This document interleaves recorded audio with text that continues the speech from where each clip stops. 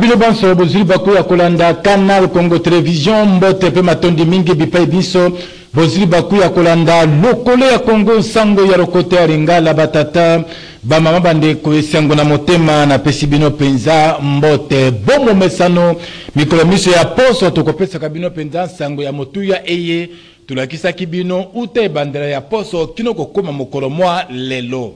Mpo na yango, bosengeli koyeba te na poso eye mwana mboka Jean-Pierre Bemba Gombo alekaki bongo na koyamba ntoma y'ekolo Grande Bretagne oyo azwami na mosala awa na engumba mokonzi ya Kinshasa. Masolo ma bango mazalaki na ntina ya koyekola mambi matali etuka ya Ituri epai wapi bana mboka bayokanaki mpo na kolalisa mandoki mpe kotika bitumba. Bolayi bwa nsango na lisungi ya Fabrice Ngudi Kanzenza.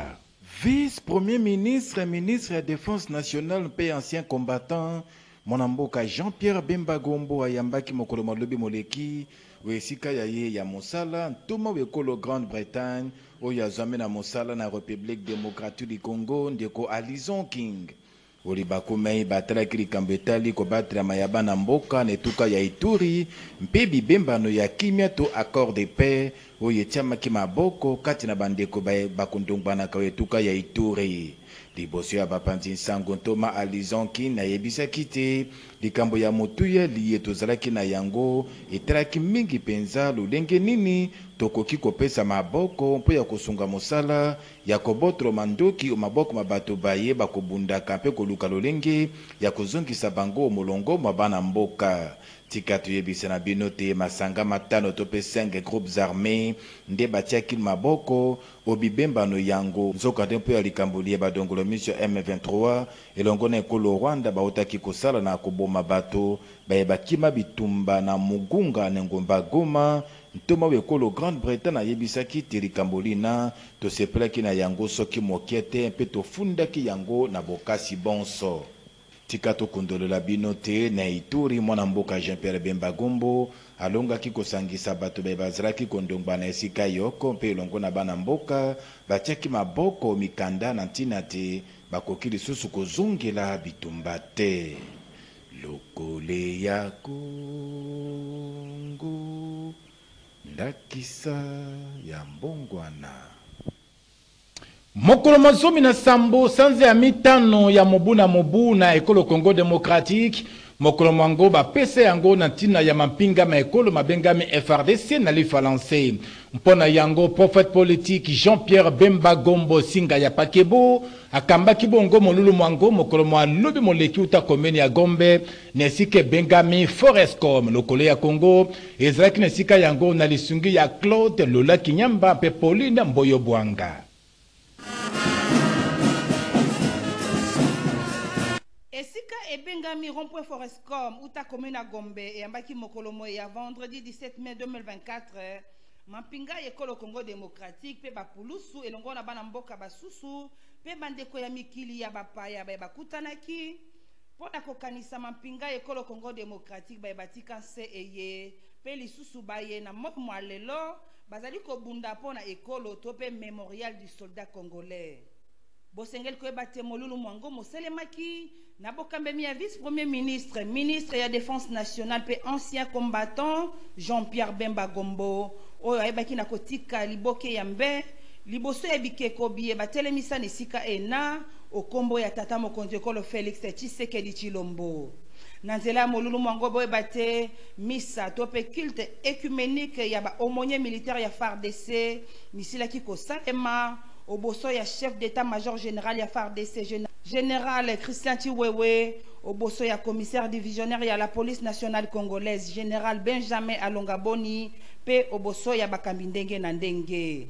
Ya solo, molulu mwango mobandaki mpe mosukaki na ndenge ya malamu mingi.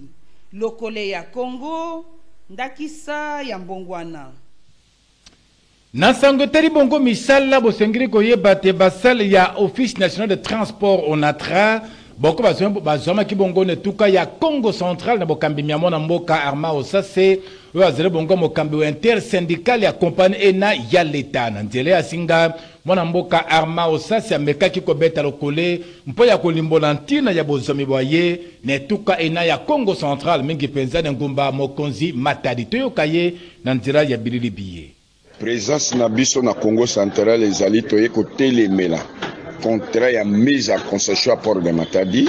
Tokoki kondima jamais que port historique contrat ya mabe lelo ba prive bazua gestion ya port na Matadi et na na contrat oyo na terrain azali na 15 pourcent oyo ya korepresente 2 millions de dollars na mbula pendant ke biso moko na sanza toya kosala 3 millions si pa 4 millions bango baza na 85 pourcent oyo ezali port historique port esalaka lokumu ya mboka lelo chemin de fer baboma toujours na bacontrat politique bozwa port monene oyo ezali port bacongolais basopa makila bopesa yango na baprive na contrat moko ya mabe oyo eviole meme constitution ya mboka na biso na article 56 biso tozali mobilize mokolo ya lendi marche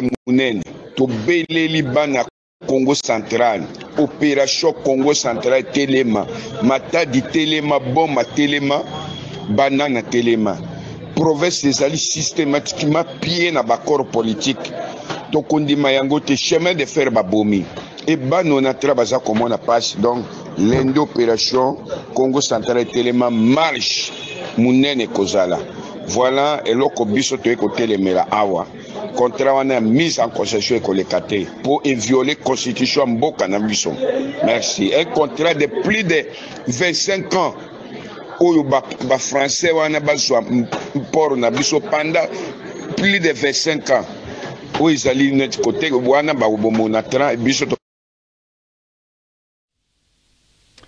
Abengami na nkombo te Jean Calvin Mbweso, mokambi ya lingomba ya politiki ebengami Avenir du Grand Congo, AGECO, na bokuse mwana mboka wana atikalaka nsima te na ndenge politiki ya Republique democratique du Congo ezali kotambola mokolo mwa lelo. Na poso eye, mwana mboka Jean Calvin Mbweso apesaki makanisi maye kolandisama na makambo maye mazali koleka na ekolo ya Felix Antoine Tshisekedi Tshilombo. Tolanda ye na bilili biye.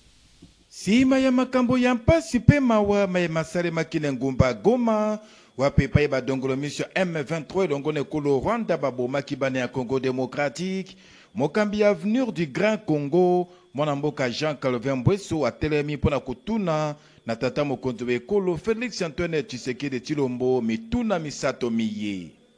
Yoka lokole. Nani oyo to moto nini? ya diaspora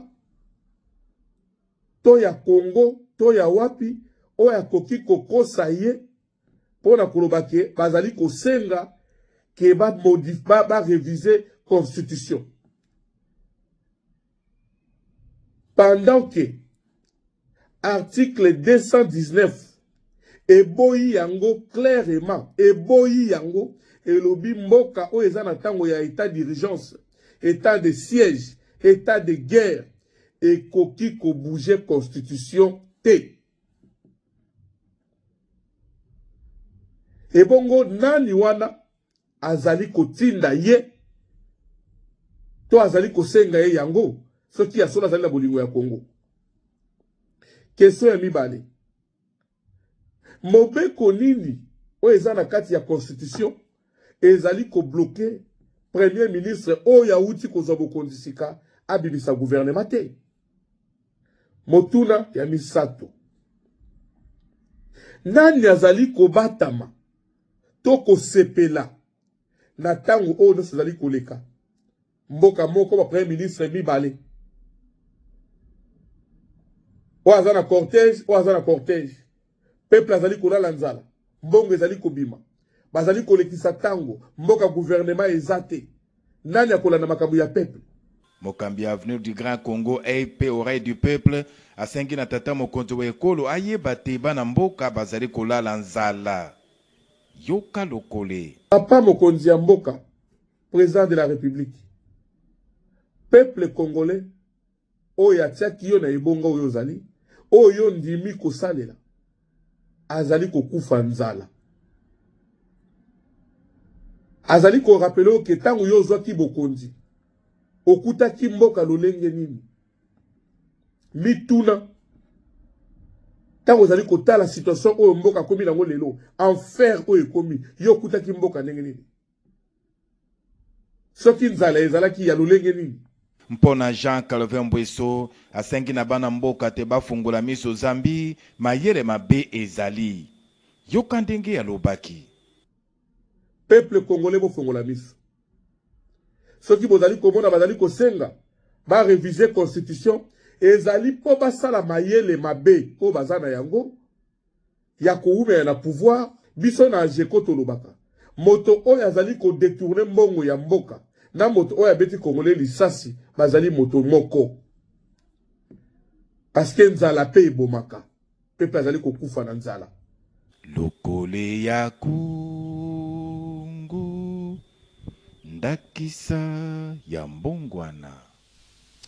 Union des republicains ezali lingomba ya politiki liye mwana mboka Norbert Luyeye akokambaka awa na ekolo Congo democratique. Na poso tozali na yango, mwana mboka Norbert Luyeye asangisaki bapanzi nsango mpe bakambi ya lingomba ya politiki na ye mpo na kolobela mambi matali ekolo ya Patrice Emery Lumumba. Leticia Bilepo Botambo azalaki wana elongo na Heritier Tubilandu Masanzambi. Azali kolala te azali tango iso koluka lolenge nini ekolo Congo democratique ekoka kobika na crise oyo tozali na yango. Ye nani? Mokambi ya lingomba ya politiki ebengami Union des republicains et allieux, UR na bokuse, mwana mboka Norbert Luyeye asangisaki lisusu bana ya UR mokolo mua lobi loleki na ndako na bango ya makita eye ezuami na commune ya N'djili. Na boye toyoka ndenge atondolaki na koloba boye. Tolekomi na makambo ya crise oyo toza na yango. Oyo nawuti kolobela awa, crise oyo ezali politique et securitaire. Mais biso toza ko marteler mingi na makambo etali securitaire ya mboka. Oyo bandeko na biso na Goma, awa na plateau de Bateke, bazali kosila, bakimi ba mboka na bango. Esika kokende eza lisusu te, kolia pasi, Bazali kotambola lokola bato oyo baza bato ya Republique Democratique du Congo te, ya mboka oyo te. Bakomi lokola bapaya. Moto ya kosunga bango mpe azali te. Bazali bango banso abandonner.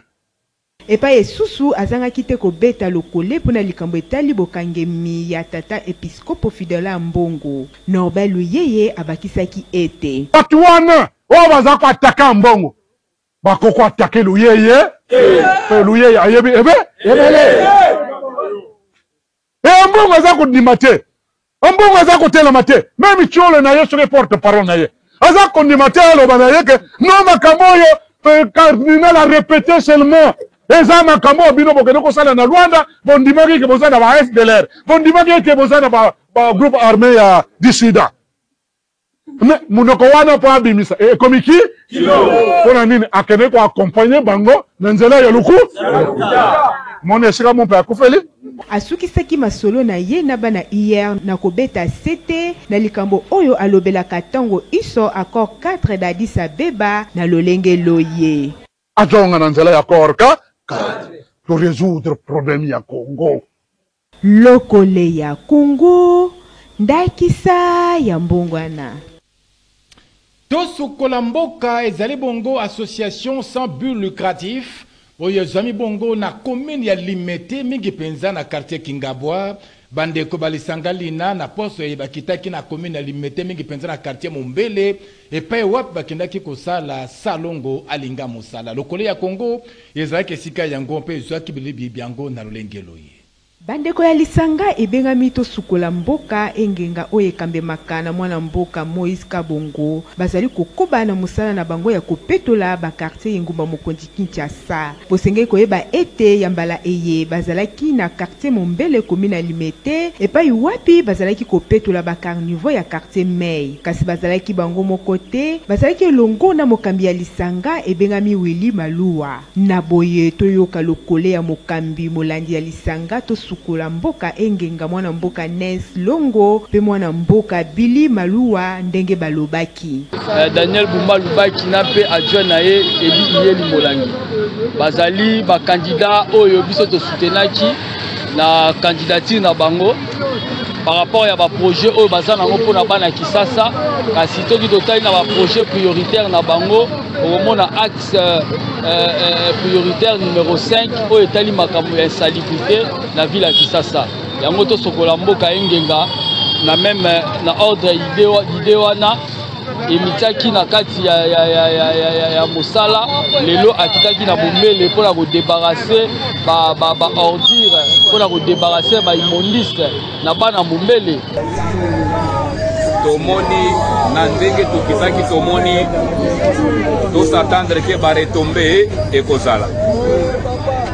liboso c'est vrai bozangaki ba interlocuteur à part kozanga ba interlocuteur tozalaka mpe divise lelo fort du progrès atikali moko lelo fort du progrès eza eloko moko message ekokoma oyo balobaka aki de droite lokole ya kungu ndakisa ya mbongwana Bato ya mokili baloba te mpasi eyaka se likolo ya mpasi. Bandeko ya engumba Goma, na etuka ya Nordi Kivu, nsima ya makama ma makwelaki bango, talaka lisusu te likambo ya kozanga mayi ya petwa ekweyi likolo ya mitu ma bango. Ezali mpenza koleka boniboni? Leticia Bilepo Botambo.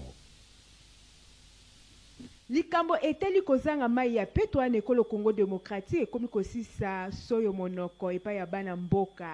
Lobi ezalaki na boko ba commune ya engumba Kinshasa, kasi lelo ekomi ngala pe na boko ba commune ya engumba Goma. Soki ezalaki na quartier lokola Mongafula, Ngaliema, kasi lelo ekomi commune lokola Virunga, Murara pe Kaembe. Ba komini eye esali poso mobimba bazwaka mayi ya petwa te mpe mayi oyo bango bazali kosalela mosala ezali mayi maye bazali kozwa yango na ebale, kaka ndenge bilili bizali kolakisa. Na ngambo mosusu, mokambi ya societe civile ebengami Forces Vives ya etuka May atomboli mongongo mpo na kosenga intervention ya bakambi ya Regideso ya engumba Goma Te, bayeba na kosala na lombangu mpo na kozongisa mayi ya petwa, mpe basala lombangu ya kozongisa mayi na ba camps ya bato baye bakima bitumba, pamba te soki mayi ezali te, ezali penza kopesa kokoso makasi epai ya bandeko mei. Bosengeli koyeba ete na ngambo ya bakambi ya Regideso, bango balobi ete bazali kosala nyonso mpo te likambo oyo ekoka kozonga na alima. Esengeli na bakambi ya Regideso te bayeba na kosilisa likambo liye, ezala na engumba mokonzi Kinshasa mpe engumba Goma, pamba te mayi ezali motuya na bomoi ya moto lokole ya Congo, ndakisa ya mbongwana. Tokanisi te mbela ya bandeko ya Goma ekoleka mpenza pamba te. Nsango ya biso ya mokolo mwa lelo, tokosukisa yango bandeko balandi na nzela ya bilili biye. Na engumba mokonzi Kinshasa, pasi ya baninga ezalaka esengo ya basusu. Tozali awa bongo na commune ya Gombe, mingi mpenza na boulevard du 30 juin, Pembeni ya avenue du Port wapi motuka moko ya Bralima ezalaki kokende mpo na kokende kotika masanga ndenge emesenaki kokende kotikela ba clients kasi ya mbala oyo ebetaki libaku mabe wapi etutanaki na bordure kaka ndenge bilili bizali kolakisa. Lokola bayi mboka bamonaka te nde bakendaki mpenza koyiba to mpe kopie masanga nyonso ezalaki na kati ya motuka oyo kaka ndenge bilili bizali kolakisa. Tala ndenge elekaki. Eza kimoyibi oyo. Pasi mpe mawa kotala makambo eza kosalema na kati ya engumba mokonzi Kinshasa, mingi mpenza na commune ya Gombe. Lokole ya Kongo, ndakisa ya mbongwana. Ya solo mpenza, tambola na mokili, omona makambo. Lokasa la sango loye, bandeko balandi, nde esukisi bongo manso tolengelaki mpo ya bino mokolo mwa lelo. Matondi mingi na mwana mboka Fiston Atunga asungaki biso na ngambo ya masini, mwana mboka Fabrice Ngudi Kanzenze azalaki na ngambo ya montage, Nsango ya lelo ebongisamaki na lisungi ya Seraphin Iyonkai na nkombo ya bango banso natombeli na bino kimia, boboto, bondeko o mabota ma bino botikala malamu.